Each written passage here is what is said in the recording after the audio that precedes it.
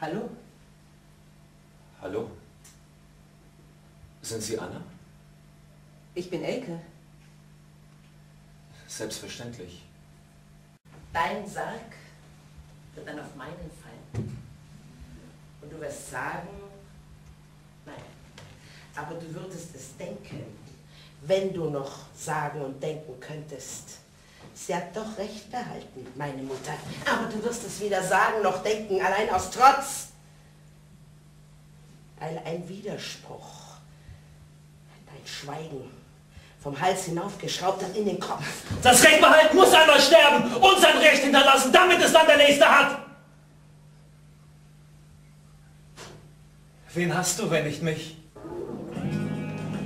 Das ist ein sehr gemütliches Zimmer bei Kerzenschein.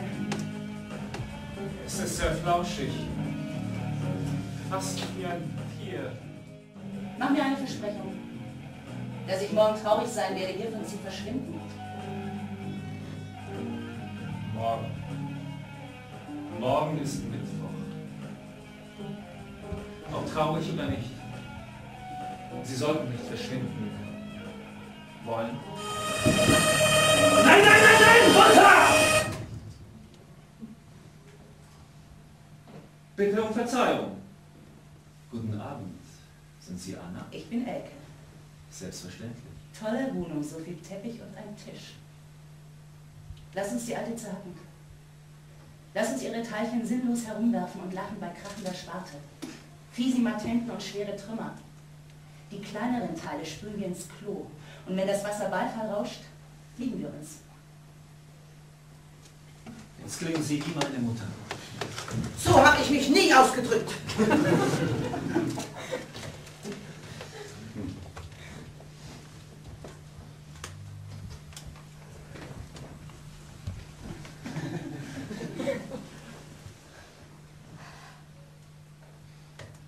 Ach, du willst, dass ich es mache? Ich weiß nicht. Will ich? Ich denn dein Gemahl zum letzten Mal gemalt? Hm? Ich meine, weißt du es noch? So quasi fein Es doch gemalt. nichts. Wir sind deine anständige Vergangenheit. Weißt du's noch? Ja, tut ja mein Sohn. Weißt du's noch? Ja, Entspannt euch! Entspannt euch. Du kannst es genießen oder unterbrechen.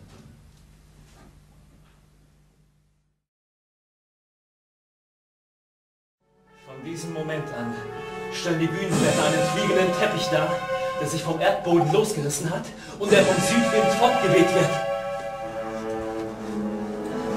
Alle Geschichten blühen auf aus den Leibern der Frauen. Wie rot du bist. Komm in meinen Schoß, Kind. Sieht Gott uns zu? Gott sitzt und denkt sich seinen Teil. Was denkt er denn?